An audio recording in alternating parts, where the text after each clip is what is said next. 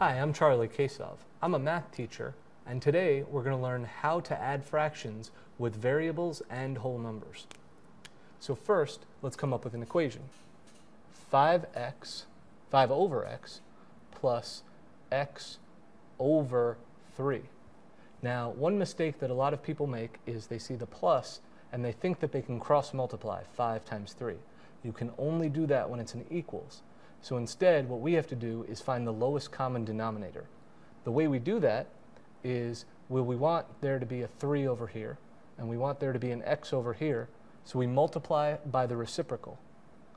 So here, we're going to multiply by 3 over 3, because 3 over 3 is just 1. It's not going to change the value, it's only going to change how it looks.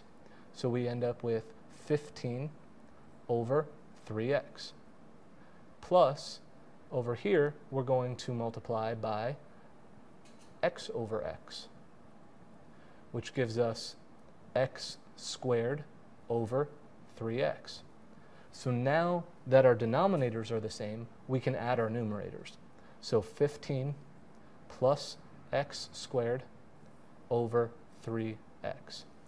Now, because there's an addition up here and there's no addition down here, we cannot simplify this any further.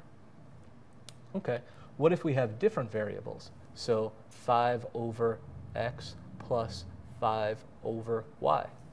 Well, the same rules hold true. We have to multiply by reciprocal on each side to get the lowest common denominator. So over here, we're going to say 5 over x times y over y plus over here 5 over y times x over x. So we get 5y over xy plus 5x over xy. So again, now that the denominators are the same, we can add the numerators. So our final answer is 5y plus 5x over xy. So I'm Charlie Kasov, and you just learned how to add fractions with a variable and a whole number. Bye-bye.